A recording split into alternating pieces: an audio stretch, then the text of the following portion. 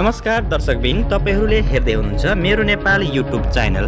तपाईँहरू नयाँ आउनुभएको छ भने यस च्यानललाई सब्सक्राइब र साथमा रहेको घन्टीलाई पनि दबाउन नबिर्सिनुहोला। किनभने आउने दिनमा नयाँ भिडियो अपलोड गर्न साथ सबैभन्दा पहिला हजुरहरूले जानकारी पाउनुहुनेछ।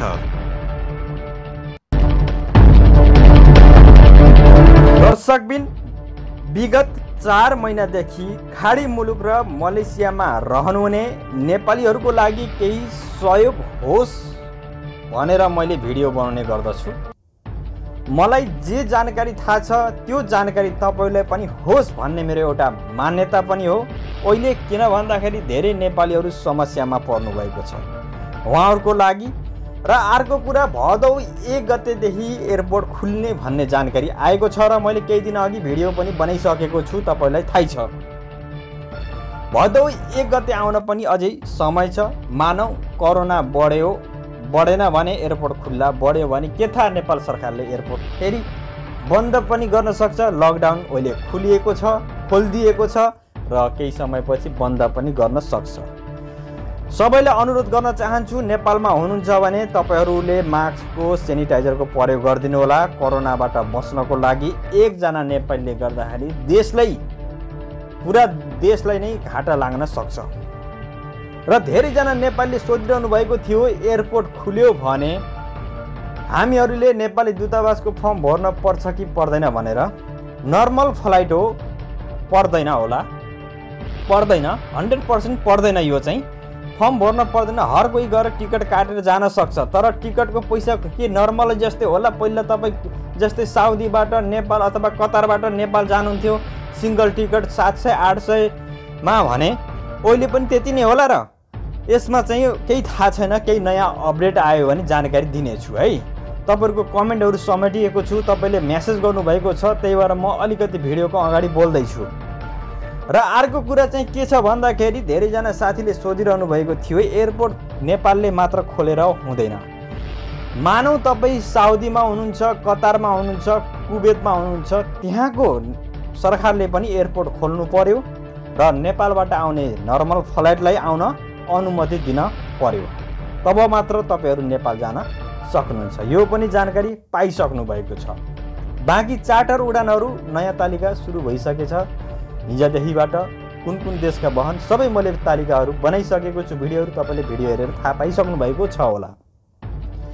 आजको यो भिडियोमा चाहिँ धेरैजना नेपालीहरूले सोधिरहनु भएको थियो मलाई नेपाल एयरपोर्ट साँच्चै नै विकसित भएको छ त विदेशको जस्तो। कि फोटो मात्र हो। तपाईँहरू नेपाल एयरपोर्टमा जानुभयो भने के नयाँ चिज देख्न सक्नुहुनेछ? यो भिडियो सुरुदेखि अन्तिमसम्म हेर्नुहोला सबै जानकारी पाउनुहुनेछ। दर्शकबिन मुलुकको एक मात्र त्रिभुवन अन्तर्राष्ट्रिय विमानस्थल नयाँ अत्याधुनिक संरचनाका साथ शीघ्र सञ्चालन योग्य भएको छ। विमानस्थलको क्षमता अभिवृद्धिका साथै सेवा सुविधालाई सुस्थिरीकरण गर्न गरी अत्यावश्यक थपिएका संरचनाले विमानस्थलको स्वरूप बदलिएको छ।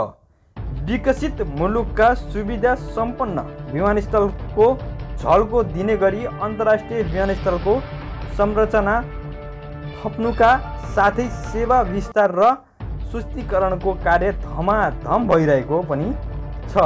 विश्वसँग नेपाललाई जोड्ने एक मात्र अन्तर्राष्ट्रिय विमानस्थल भएकाले यसले आधुनिकरण गर्ने क्षमता अभिवृद्धि गर्दै सेवा विस्तार र शैलीकरण गर्ने कार्य सक्षेत्री पर्यटन तथा नागरिक उड्डयन मन्त्रीले जानकारी दिनुभएको छ। त्यसको नेतृत्व गर्ने पर्यटन मन्त्री योगेश कुमार भट्टराईले विमानस्थलको क्षमता विस्तार र सुस्तीकरणको कामलाई निरन्तर अवलोकन र निर्देशन दिँदै अहिलेको अवस्थामा आइपुगेको हो। विमानस्थलमा पछिल्लो समय भइरहेको कामबारे पर्यटन मन्त्रीले धेरै समय अन्तर्राष्ट्रिय विमानस्थललाई दिँदै आउनुभएको छ। परिमाण स्वरूप विमानस्थलमा सञ्चालित आयोजनाले सकारात्मक परिणाम हासिल गरेको छ। यसै सिलसिलामा पर्यटन मन्त्री योगेश कुमार भट्टराईले आज अन्तर्राष्ट्रिय विमानस्थल सञ्चालित विभिन्न परियोजनाका साथै सेवा स्वरीकरणका लागि भइरहेका काममा स्थलगत अवलोकन गर्नुभएको छ। अर्थ मन्त्रालयका सचिव शिशिर कुमार ढुङ्गाना पर्यटन मन्त्रालयका सचिव केदार बहादुर अधिकारी नेपाल नागरिक उड्डयन प्राधिकरणका महानिर्देशक राजन पोखरेल सहितको उच्च अधिकारीलाई साथमा लिएर मन्त्री भट्टराई विमानस्थलको प्रगति र सञ्चालित नयाँ सेवा सुविधाको निरीक्षण र निर्देशन दिनुभएको छ। कोभिड नाइन्टिन महामारीले विश्व नै त्रास भइरहेको बेलामा अन्तर्राष्ट्रिय विमानस्थलको पूर्वाधार निर्माणको काम निरन्तर अघि बढिरहेको छ। पर्यटन मन्त्री भट्टराईले कोभिड नाइन्टिन नियन्त्रणका लागि नेपालमा लागू गरेको बन्दबन्दीभर कुनै पनि निर्माण कार्य अवलोकन नभएको बताउनु भएको छ। उहाँका अनुसार यो बिचमा विमानस्थल नयाँ प्रगति भएको छ। अन्तर्राष्ट्रिय विमानस्थलको धावन मार्ग विस्तारको काम सकिएको छ।